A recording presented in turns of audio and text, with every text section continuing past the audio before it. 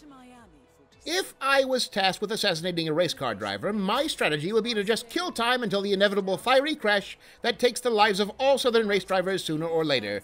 Why expend unnecessary energy? I don't think that actually happens to every race car driver, brother. Oh, can you think of any drivers who have survived more than 10 years on the circuit? I. Well, in fairness, no, but I don't actually watch racing either. There's no shame in it. Not everyone has the stomach for that level of blood sport.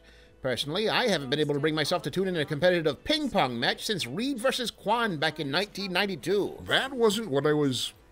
What happened in the ping pong match? You never heard about it? Some guy in the stand threw a boot at the back of Stanford Reed's head, knocked his eyeball clean out. You're joking. The really gruesome part was that they didn't stop the match until six minutes later. Nobody noticed that the actual ball had long since rolled off the table. Ooh, brother. On that general theme, given the nature of Agent 47's work, don't you find it strange that the Hitman games are essentially bloodless?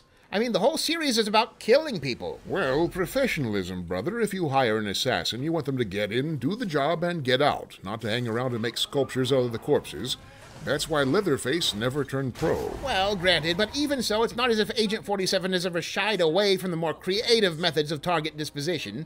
He'll throw you into a jet engine or drop a safe on your head, but it never seems to result in the shower of blood and viscera that would result if you or I attempted such a thing.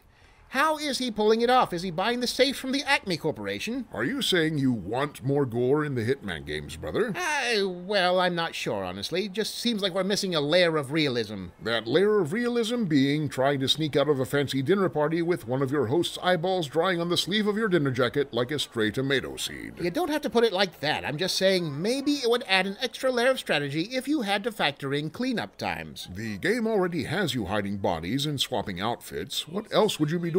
Well, like if Agent 47 had to sneak through hostile territory with a mop and bucket set before anyone in the mansion wandered into the bedroom and looked at the ceiling. At the ceiling? People explode sometimes, brother. There's a lot of history backing me up on this. Why censor it? I think the unspoken guidelines for the Hitman series is that the kills themselves can be implied to be as gruesome as the developers want.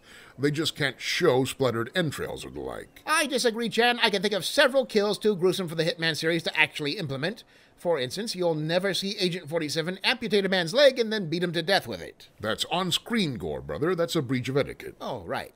Okay, how about Agent 47 poisons his target's food, inducing bathroom death? That's not new. Agent 47 poisons people all the time. No, I mean specifically fatal diarrhea. Camera just outside the bathroom stall, we hear everything. Would they have the courage to depict death poop? What is wrong with you, brother? You're just angry at being proven wrong. Or how about this one?